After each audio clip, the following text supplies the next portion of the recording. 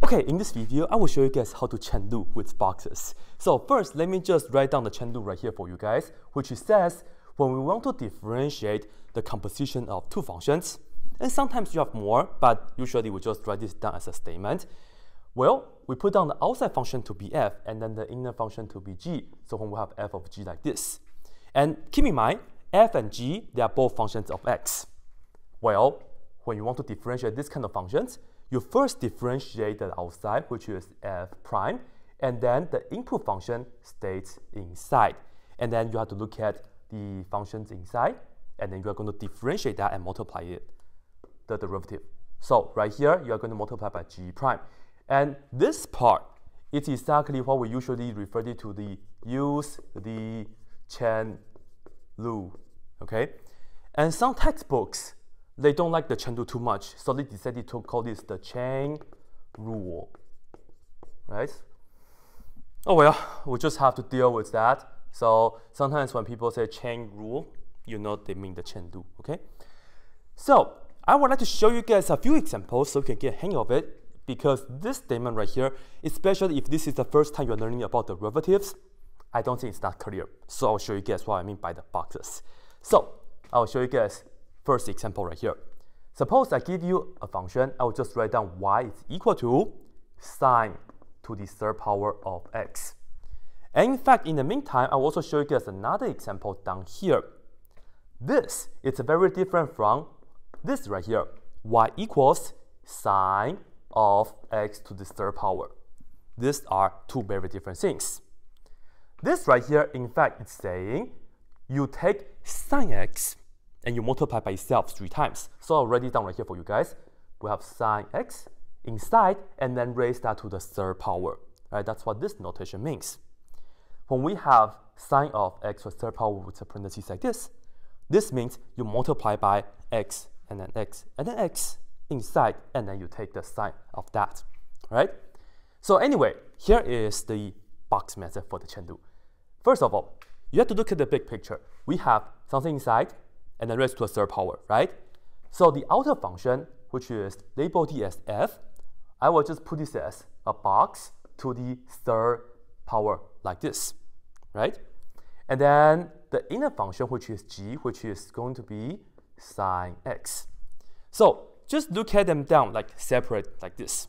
Because when you break this down into two parts, it's less intimidating than the original looking function, right? So it's about it's all about our feelings. Seriously. Do this. This is like our emotional support. You will seriously feel much better when you do the derivatives. Trust me. Anyway, because now you just have to ask yourself, when you have a box to the third power, what is the derivative of that? Well, of course, we can bring the power to the front and then minus 1. So, that's the usual power rule. You get 3 box.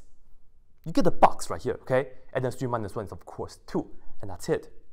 And now right here, you also have to get the g prime, which is going to be what? The derivative of sine x is cosine x. Very nice. Cosine x. And guess what? Look at this. f prime is that, and all we have to do is you first take the g function, you put in the box. All right? You put this in the box, and then this right here is your answer. So let me write this down right here for you guys.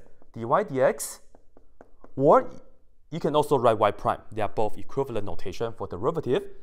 You get 3, and then for the answer, you don't write on boxes. Okay, you use parentheses. And then you put the sine side, so we have sine x right here, and then raise that to a second power. And then on the outside, you see, you have this times that. So you multiply by cosine x, okay? And this right here is your answer, okay? You put g in the box, that's exactly this portion. And then you multiply by the derivative of g, which is this portion, that's the rule part. And usually when you have this to the second power, people like to just write this as 3, and then you put the 2 right here, so a sine square x, and then we have the cosine x on the outside. So I'll box this right here for the answer. All right, that's nice. Bring the 3 to the front, minus 1, and then multiply by the derivative side. That's it, okay? So let's see this one right here. When you have sine of x to a third power instead, if you look at the big picture, the outer function is sine of something. So we have sine of, yes, a box. And what is a box?